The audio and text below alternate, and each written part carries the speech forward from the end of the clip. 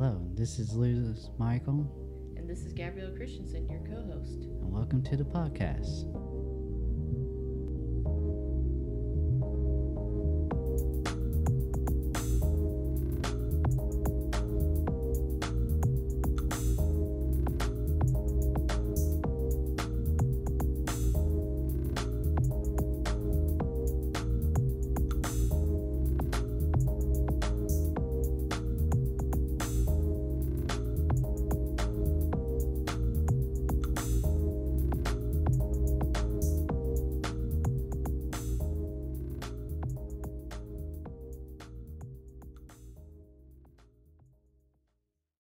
Hey everyone, this is Louis Mihael, and welcome to Geeking Around Lite. Gabby couldn't be here today, but we're gonna do a quick overview of Windows 11. Microsoft did a event, a small event for their new operating system, and since we did Apple event and we'll be doing the E3 event for the main podcast, I figure we do the Microsoft event. Make sure to like and subscribe. Check out the links in the description or show notes. There's a lot of great things in there. Um, you can get the web comic, the Geeking Around web comic, as well as my um, Star Wars comic, Kira, a Star Wars story, online clothing. We can get Geek Around logo and our avatar launch, many other stuff. So make sure to check all that out and let's get on with talking about Windows 11. Okay, so here's some, a list of some of the features that Microsoft announced at the Windows 11 event.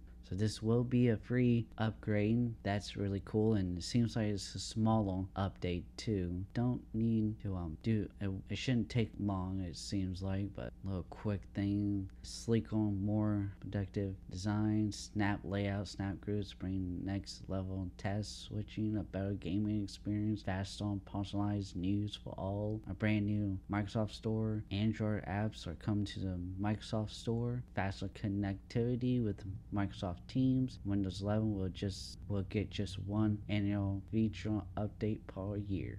Okay, so first everything to talk about is the sleeker, more productive design. As you can see here in the photo, and everything's a lot more simple and sleek and just looks so much more modern. Um, being a Mac user, um, I would say that this takes a lot from it was inspired by Mac, but I still think it's like has its own unique um, look to it, and I, I really like it. And it um like one thing I always dislike about Windows and before on Mac is that it just it just seems like with Windows when I go to use a Windows PC, it just seems like I'm doing the boring work stuff. You know, you know Windows 10 is, is a very powerful and great operating system, and in many ways is better than what Mac OS is, but it just seems so outdated. It seemed like like I said it, it meant for the boring um, workload, and where Mac OS always kind of had that more modern, uh, pleasing, sleeker look, and so it's always seemed like it was a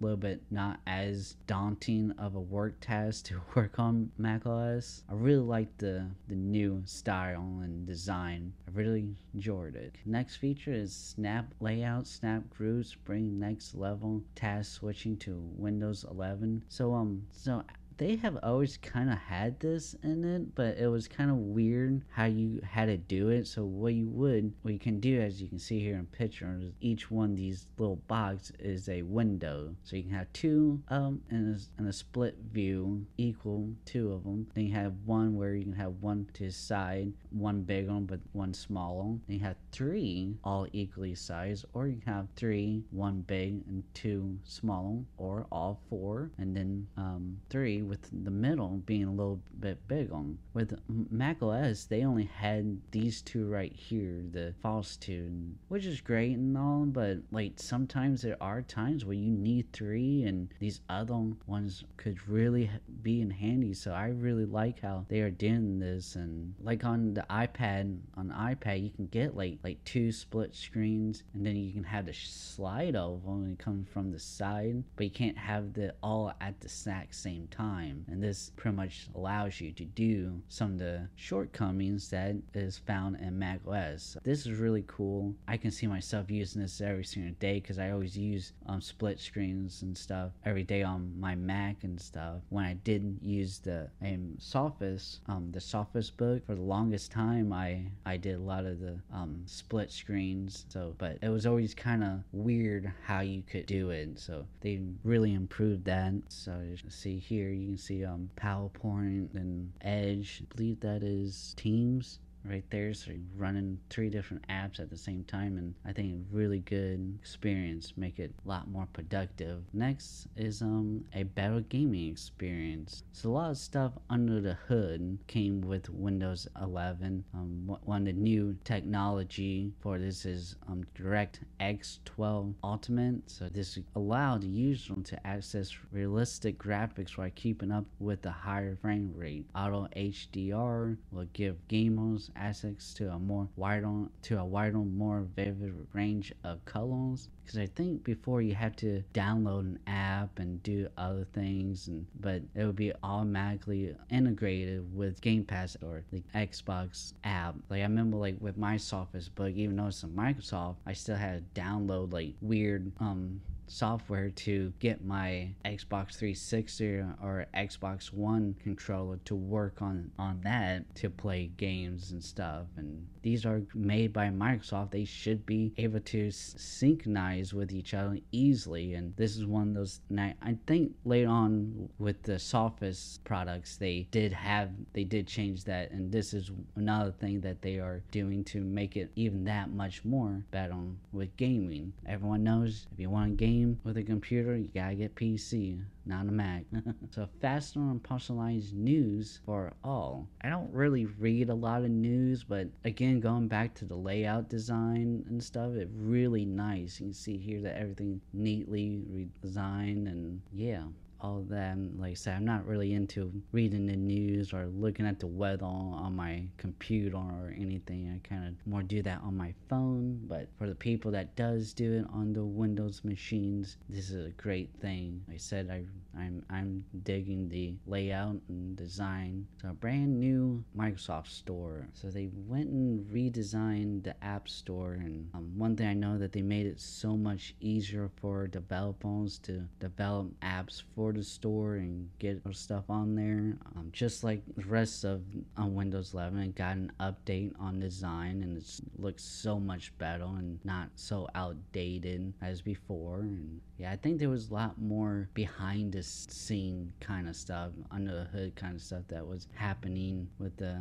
um, Microsoft Store that is very beneficial to developers and stuff. I think they really talked about here. And Android apps are coming to the Microsoft Store. So before, I believe you had to have um, a specific app to bring Android apps um, to your PC, and that was just putting whatever you have on your phone, your Android phone, to your PC. So yeah, and your apps. Uh, if you want some apps that to have on your phone that um, you don't have on your PC, you can download from the Microsoft Store.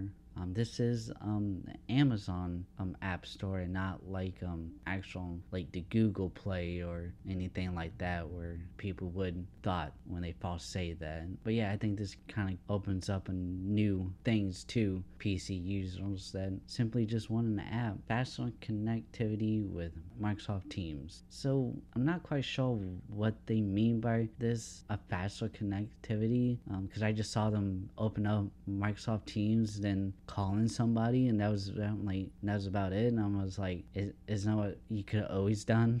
So I'm not quite sure what they mean by fast on way of doing this. Um, a, a new improvement to Microsoft Teams is great because you know with the pandemic and stuff, and we kind of out of that, but people are preferring to stay at home and do remote work, and this will be one. This has been uh, Microsoft Teams have been something that um, they a lot of workplaces been using to um, connect with their team members and stuff. And just get something like that and there you go. Windows 11 would get just one annual feature update per year.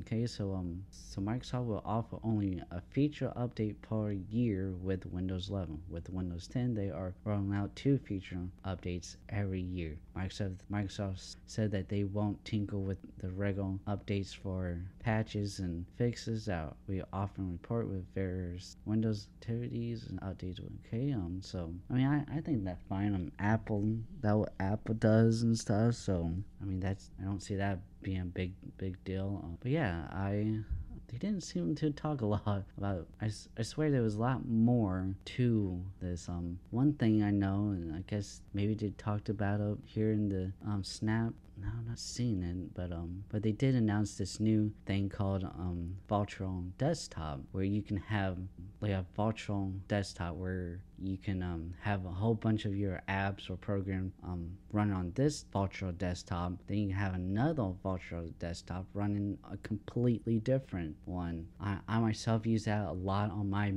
Mac, where I um a lot of times when I'm writing our reviews for the podcast, I will have like Safari, like YouTube, because a lot of them are usually a, a video, a movie, and stuff. So I'm looking at like clips of it or like Netflix or whatever it is open up there and I have um pages, Apple pages where I write the review at and, and stuff. And then when I'm working on the reviews I'm also working on the um geeking around um, webcomic as well. So I have that in a different um virtual desktop where I have well, I primarily use um Clip Studio Paint to um do all my artwork and stuff. And I use like Apple Pages to write the script, so I use that and usually have a Safari open to look up references and stuff to help draw. Yeah, I think it's not that big of a update really. But um i think this is a very welcome and i think everyone gonna be very happy with